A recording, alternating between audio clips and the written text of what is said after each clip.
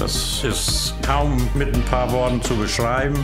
Angefangen ist es sicherlich mit einer Tradition, dass in unserer Region Anglerrinder gehalten werden. Und äh, daraus hat sich eine Liebe zu dem Rind entwickelt. Ja, man sieht einfach, was die denken und das finde ich so schön an den Tieren.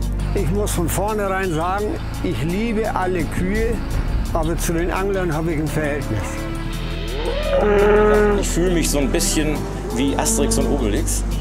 Und zwar sind wir so ein bisschen Asterix und Obelix und die Schwarzbunten ist die große römische Übermacht. Wir sind ja aus Jägern und Sammlern entstanden. Also wir waren die Sammler, haben das kultiviert, daraus sind die Bauern geworden. Und ich stehe auch dazu, dass ich Bauer bin. Ja, der Landwirt von heute ist nicht mehr einfach ein Bauer. Der Landwirt von heute ist mehr Manager.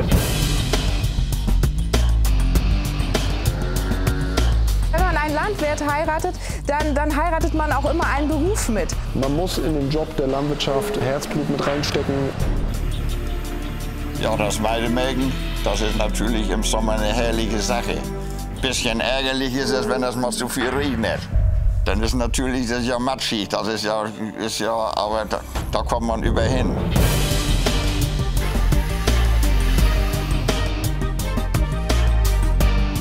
Eine Herde wäre immer stolz, wenn man selber zufrieden ist damit.